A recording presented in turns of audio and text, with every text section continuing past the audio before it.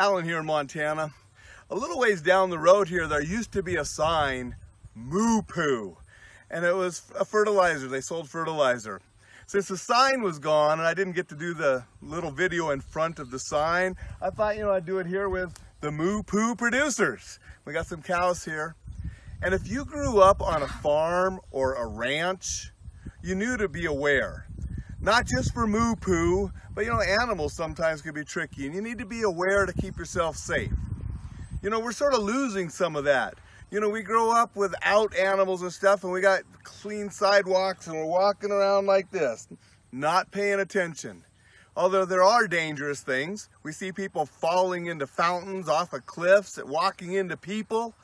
We got to pull our heads out of our apps, APPS, and pay attention.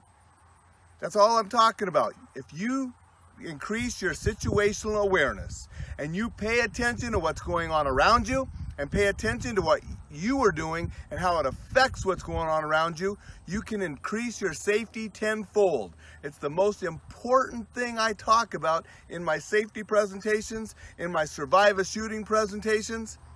Situational awareness will keep you safe.